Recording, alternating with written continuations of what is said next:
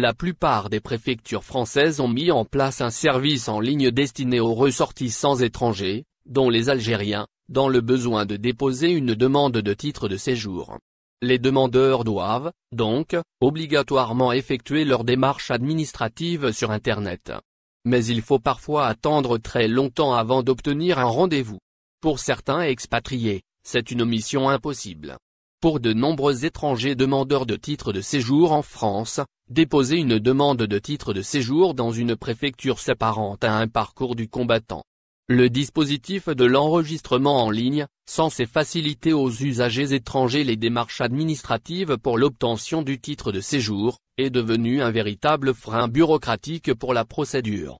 Dans une enquête publiée, vendredi 28 août, par le média français France 24, de nombreux expatriés témoignent du calvaire qu'ils vivent pour décrocher un simple rendez-vous à la préfecture.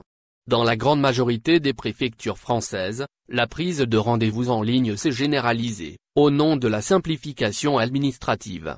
Mais, dans la pratique, la procédure est devenue quasi impossible puisque sur la plupart des sites internet officiels, au moment fatidique, s'affiche le message suivant, il n'existe plus de plage horaire libre pour votre demande de rendez-vous.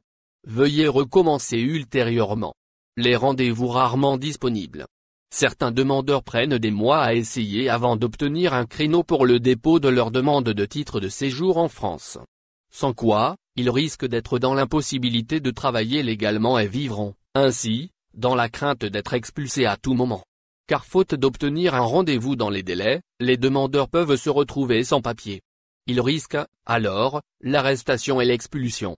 De nombreux demandeurs étrangers, dont les Algériens, sont, donc, dans l'obligation de passer des nuits entières à surveiller l'ouverture de nouveaux créneaux horaires sur le site de la préfecture, afin de s'inscrire pour un rendez-vous.